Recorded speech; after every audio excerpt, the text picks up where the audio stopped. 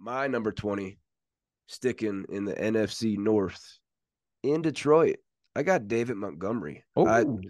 I got two Detroit Lions running backs in my top 20. I know it's crazy. It almost Yeah. happened last year. Jamaal Williams, I want to say, was 13th, and Swift was, you know, in the 20s. sure.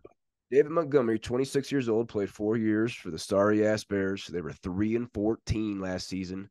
He was running back 24, missing one game on a team that won three games. Now, Lions are going to win more than three games. Yeah. He, he Montgomery for the Bears last year had 801 yards on the ground with five tutties, 34, 34 for 316 through the air, career lows in rushing yards and tutties. But like we said, he goes to the Lions now. The- Lions aren't going to put the ball in Jared Goff's hands. They're going to be handing off to David Montgomery around Yeah. the goal line. Yeah. He he fills right into Jamaal Williams' role. Now, am I predicting Mhm. 17 tutties? No, I'm not going to predict 17. Stuff. But I yeah. could see 11. I could see 13 tutties from David Montgomery. Okay. And if that happens, this guy's a top 20 back. Wow. Wow. Wow. Wow.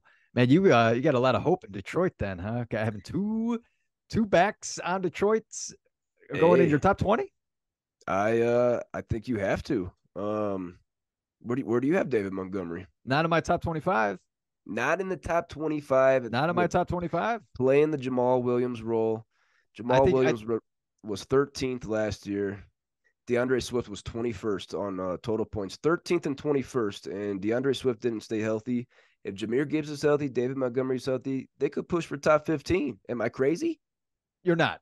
You're not crazy. I'm just looking at the lead back. And I mean, he could he could be the lead back. He could be. You know, it's Yeah. it's true. It's true. It- like it's all it's all these questions, all these hypotheticals. We don't we don't know. We don't know yet. Jahmyr Okay, but- Gibbs, Jahmyr Yeah. Gibbs is like 199 pounds. He ain't even 200 pounds. So oh, I thought David. Montgomery's gonna be.